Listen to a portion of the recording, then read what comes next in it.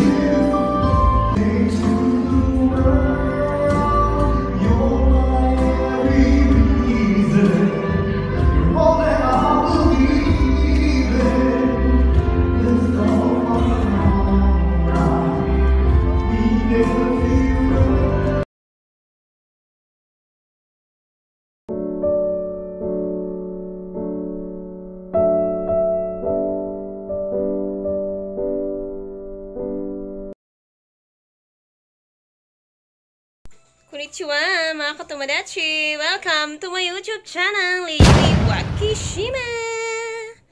Yan, so mga katomodachi, ngayong araw po ang first anniversary po namin ni wedding anniversary. Yan, sobrang nakakalungkot kasi wala po siya dito ngayon.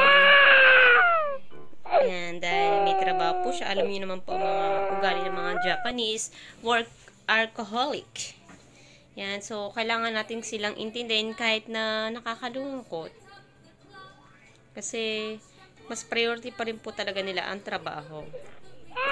Okay, sa mga ganyang alam mo na, nakadisappoint lang. Pero dahil sa pandemic nga ngayon, kailangan nating magpursige. Hindi lahat bless, hindi lahat may trabaho, hindi lahat sumasahod, hindi lahat may salary, at hindi lahat yan, nagsusumikap. Meron din kasing ibang, dahil pandemic, ginagawang alibay. Dahil pandemic, wala tayong magagawa, tambay lang tayo. yan, so, talaga mga Japanese talaga workaholic talaga yun sila. Grabe. Yan, hanggang mayroon trabaho, trabaho, trabaho. Yan, so, yan, ginagawa pong motivation ng asawa ko yung pandemic. Kahit na pandemic, yan, kahit pa rin trabaho pa rin po sa opisina, maraming customer. Yan, kahit araw ng rest, tatawagan po siya. Minsan, pinagkakamala akong babae, kaya Di ba nakakaloka? Yan, so, yan, medyo malungkot lang ako. Yan, so, mga, ano din siguro, simula umaga hanggang hapon po ako nag-emote. Yan. Yan, alam mo yung mga good memories na binabalik-balikan ko po nung una po kami magkakilala at yung yung hanggang kinasal kami at umabot na po kami sa one year anniversary.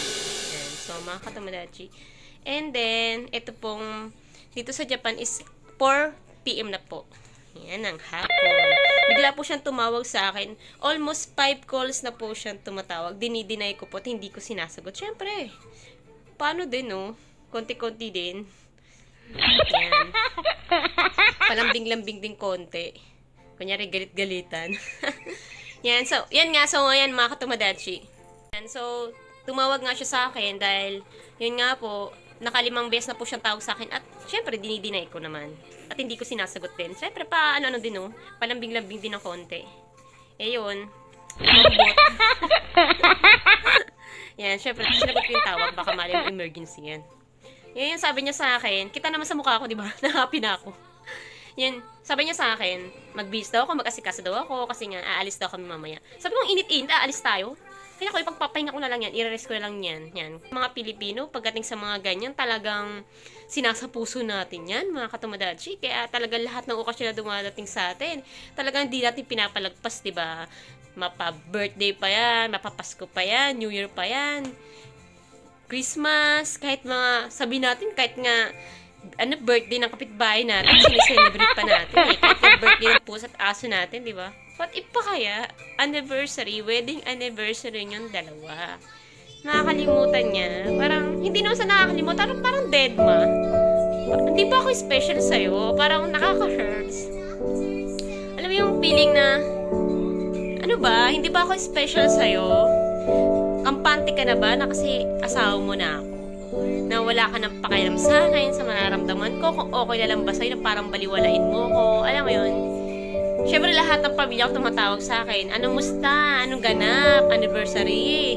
Mga kaibigan ko nakak nakakakilala sa akin. Kinakamusta ako. Musta? Anong ganap? Alam mo yung konti na lang tutulo na yung luha ko. Sabi ko hindi okay lang kasi alam mo naman yung mga Japanese, ganyan talaga mga ugali nila, workaholic sila. Wala tayong magagawa. Yun, kahit deep inside na masakit, syempre kailangan mong i-defense. I-defense sa yung asawa mo na syempre ganun tra- trabaho yan eh. Pero yung iba na hindi makakaunawa, syempre yung ibang hindi makakaunawa, bakit? Anniversary, first anniversary, tapos walang pakialam. Oh, iwan daw po muna namin dun sa mami niya. So, talagang ngayon lang pong mangyayari, iniiwan namin si baby ng gabi. Iniiwan namin si baby sa mama niya, hindi po gabi, araw po, umaga or hanggang hapon. Pero hindi po talaga nangyayaring gabi, iniiwan namin si baby dun sa mama.